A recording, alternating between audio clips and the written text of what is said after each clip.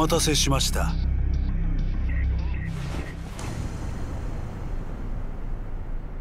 あんたが葛城はい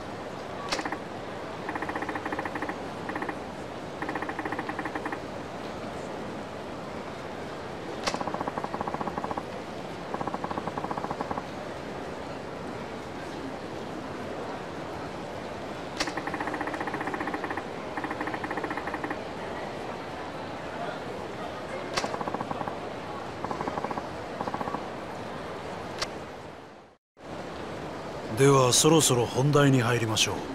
谷村さんあなたはお父さんの死の真相が知りたいとそうおっしゃってましたね。ああそうだ。俺の親父の死。あれは25年前の上野義治襲撃事件に関係しているんじゃないのか。私は回りくどい交渉は好きじゃありません。はっきり言いましょう。違います違うだと？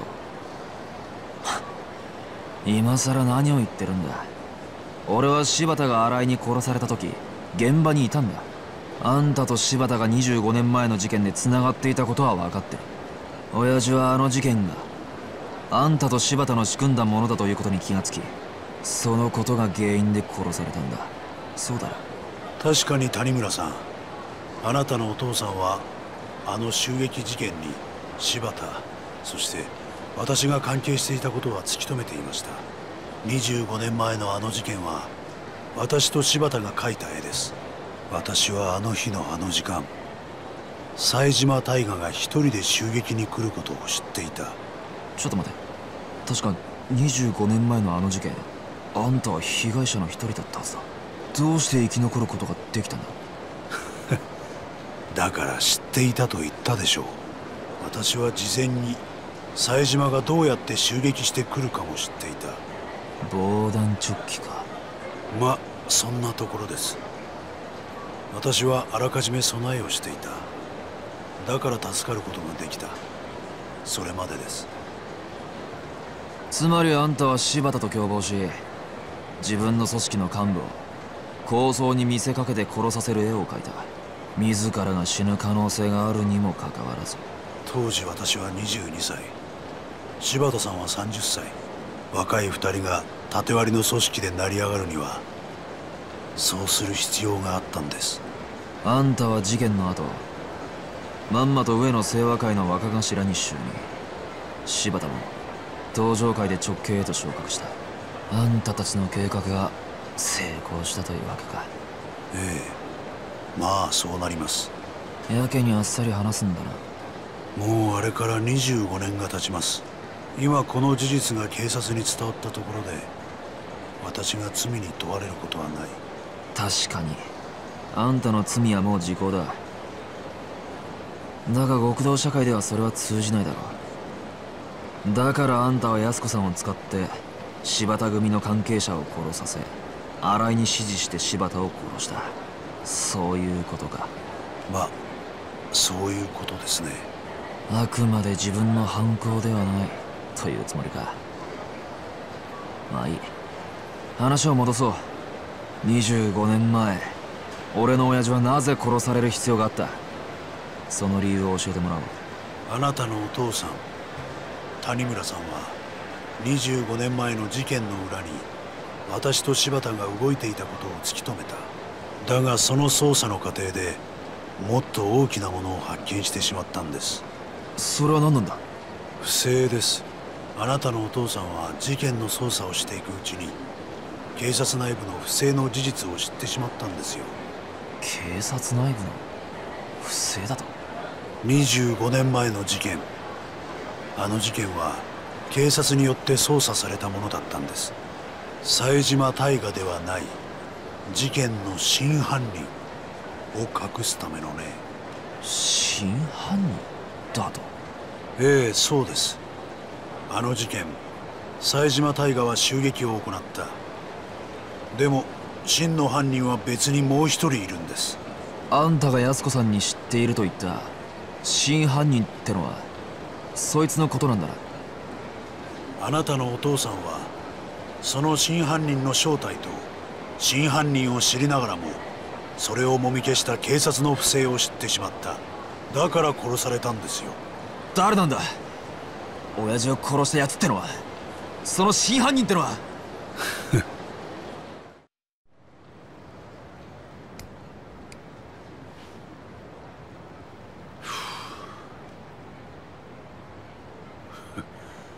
こんな時間に外を歩いたのは久しぶりだ。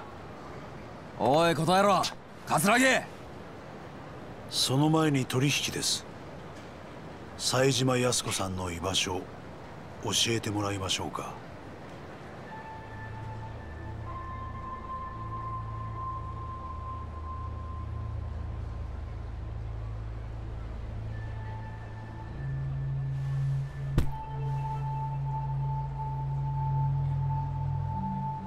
何の真似です？この1億はくれてやる。だから安子さんのことは見逃してやってくれ。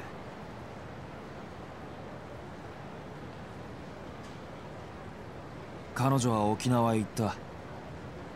冴島大河に会うためにな。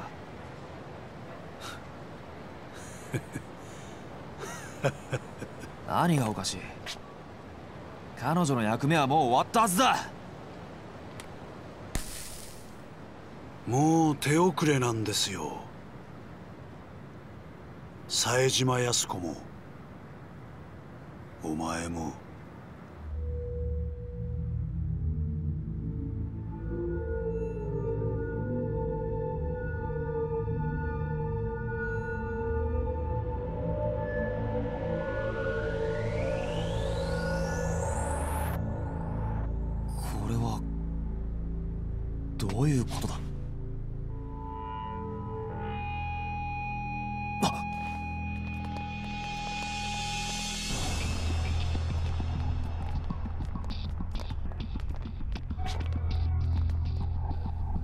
冴島康子さんは後で始末します。だがまずはあなただ。桂木。貴様！最後に教えてあげますよ。25年前の事件。18人殺した真犯人。あれね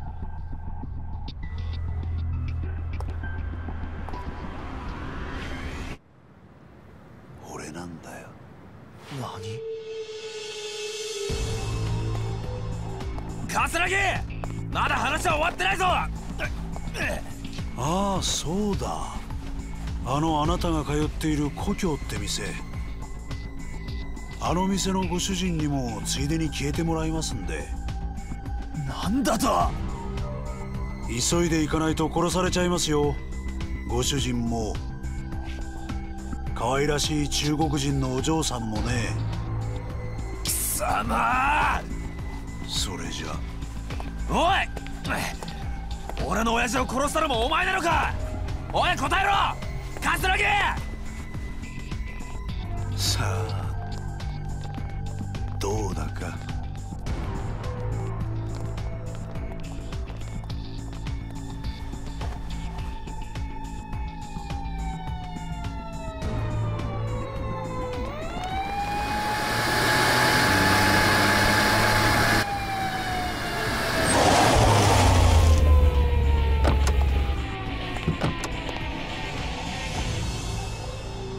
そこまでだ。杉内さん。てめえ早く行け。いつも入り浸ってる店の連中が危ないんだろはい。お前ら全員捜査一課でまとめて面倒見てやる。